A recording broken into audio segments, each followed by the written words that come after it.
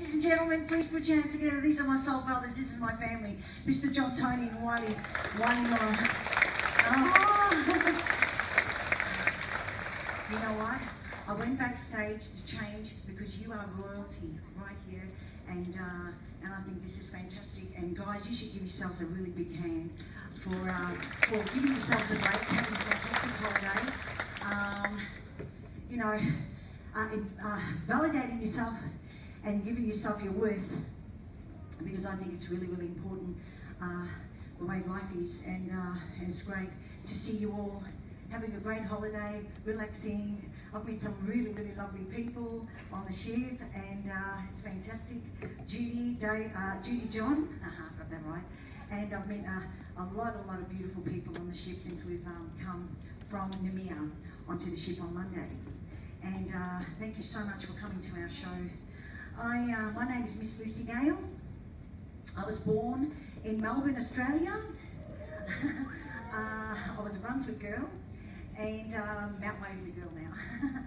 and uh, singing pretty much has been my whole life. And uh, I didn't speak for a little girl since uh, up to the age of six.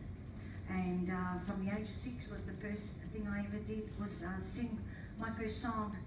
And that was the first sound I ever made in six years. So, you know, and, and I realised music was my whole life. Um, back then, and that's all I ever wanted to do. It's almost like it was just chosen for me, and I get to do this for you and to travel around the world. This it's, it's an honour. Thank you so much. it's pretty hard. Um, this next song I'd like to do, I'd like to dedicate this to all the, the ladies, to all the women in, the, in, this, in this beautiful room. This next song was written by Gerry Goffin and uh, Carole King. It was specifically written for the great, phenomenal Aretha Franklin. Um, and it's a song I'd like to dedicate to all the beautiful, beautiful ladies in the house. Ladies, are you ready? Let me dedicate this to you. Thank you.